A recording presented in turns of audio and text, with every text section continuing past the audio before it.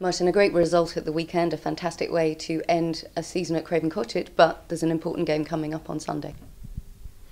Yeah, of course. Of, uh, although you can't say there's a lot of pressure on us because we achieved, uh, wanted to be in the top 10, and the other things are not in our hand. Uh, of course, if Liverpool can't beat Swansea away, and that will be difficult, and we could beat Spurs, we could be in eighth position and then you consider that Everton plays at home against Newcastle, so that is in our mind. So of course there's, there's something to play for, but the pressure is on Spurs, of course, because they have to win, and they need a result to uh, to be in the top three. Because even when you're fourth in England now, and Chelsea will win the Champions League, as you know, could be is a possibility.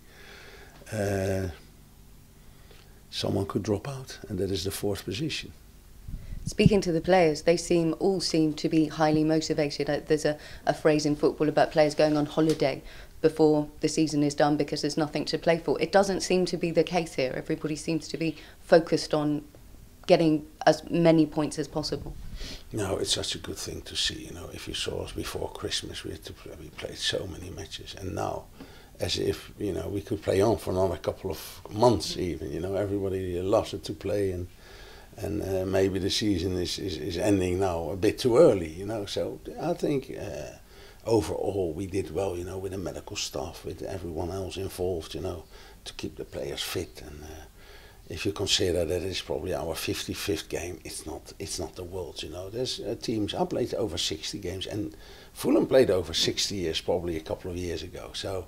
The only thing was we had to play too many games before Christmas, and maybe it cost us points in the Premier League because if you look at this, the last 20 matches since uh, since January, we on the top, we would end in the top five. So, but they that that uh, won't say that I wouldn't be and I wouldn't wouldn't like to be in the Europa League. I always would pick the Europa League, and even if they tell me tomorrow that we will be in the that we won the Fair Play Cup, I would uh, go to Europe again.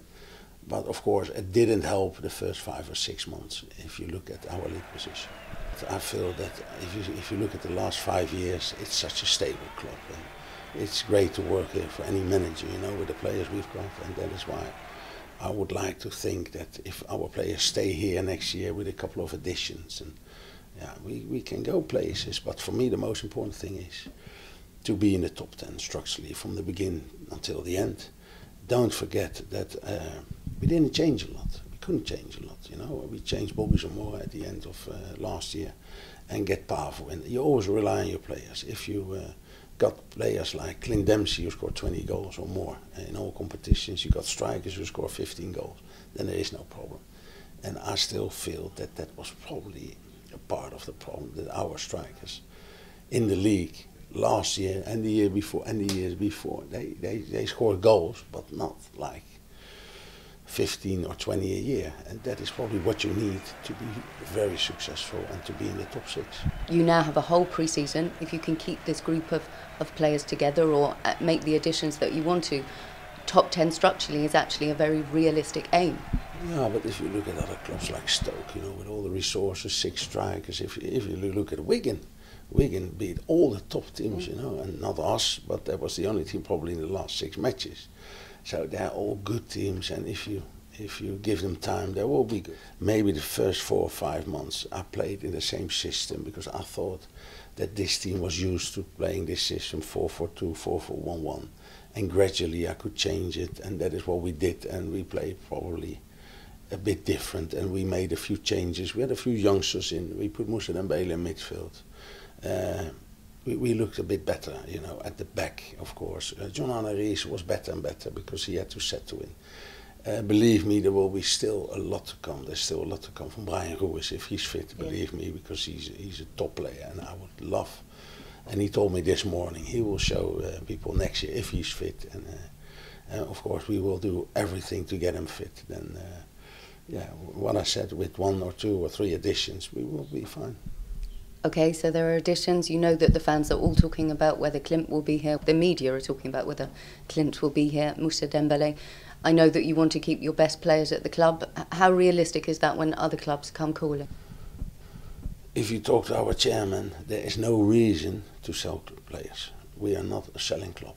of course, we would like to educate youngsters and get youngsters and be self-sufficient and try maybe to educate them. And if you sell them, okay, because I, when I was in England before, we sold players for 35 million, 25 million, Carrick and Berbatov and other players, you know. But we are not a selling club. So if clubs come in and sometimes you can't do anything about it because I couldn't do anything about it when Berbatov left for 34 million or something.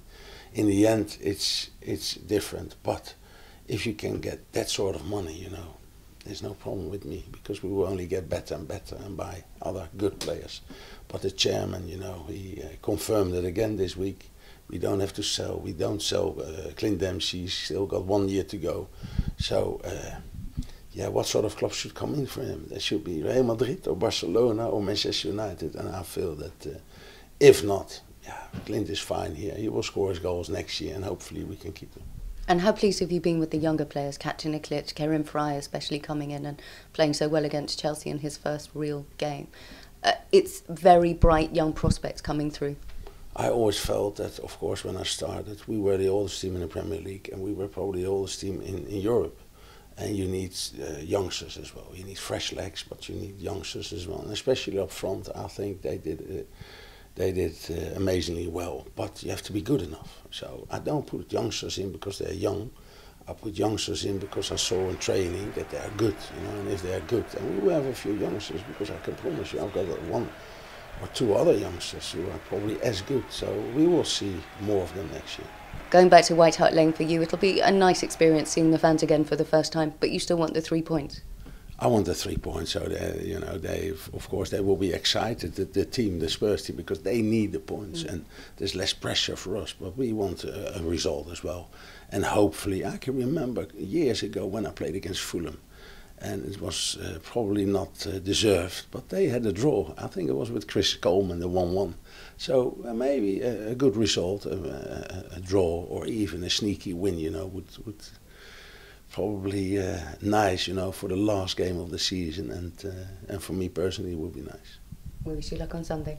Okay, thank you.